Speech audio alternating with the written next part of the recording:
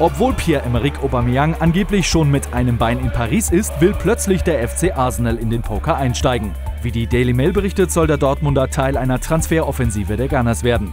Offenbar rechnet der FA Cup-Sieger damit, den Gabuner für 70 Millionen Euro bekommen zu können.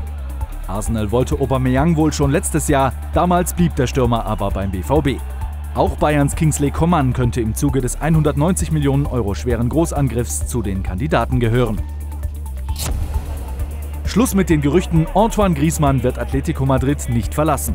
Er habe sich zusammen mit seinem Berater zum Bleiben entschlossen, sagte der Franzose bei Telefoot.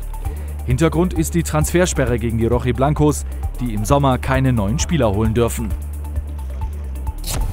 Auch David De Gea bleibt bei seinem Club. Laut dem Sunday Mirror hat der Torwart Real Madrid abgesagt und die Königlichen über seinen Verbleib bei Manchester United informiert. Damit würde auch der zweite Versuch von Real scheitern, den Spanier zu verpflichten. Bye.